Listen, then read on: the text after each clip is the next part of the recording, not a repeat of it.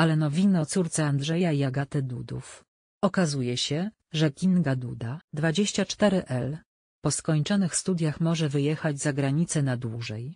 Jedna z gazet przekonuje, że prezydentówna niebawem przeprowadzi się do USA. Wielkie zmiany w życiu Kingi, Dudy. Niedawno jej dumny tata poinformował, że jego córka skończyła studia prawnicze na Uniwersytecie Jagiellońskim. To już jest koniec. Jesteśmy wolni. Możemy iść. Duma.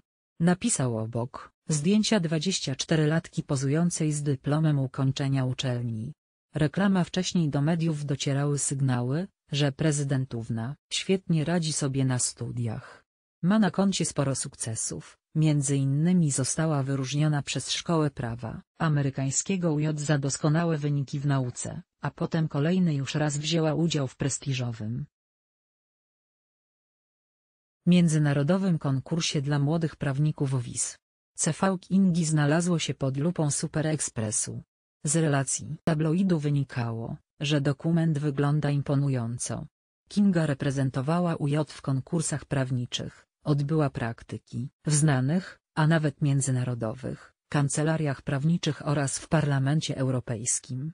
Oprócz tego doskonale zna język angielski i dość przyzwoicie język niemiecki.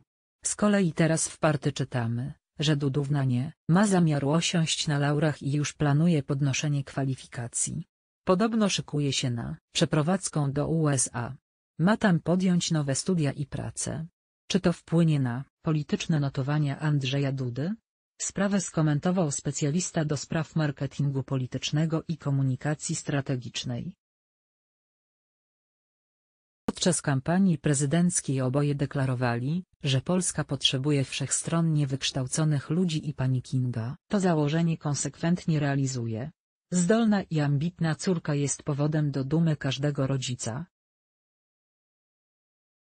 Więc taki krok tylko wzmocni ich wizerunek. Poza tym w USA będzie mogła pracować, anonimowo na własne nazwisko, bez łatki córki prezydenta, opowiada dr Sergiusz Trzeciak. Zobacz więcej materiałów.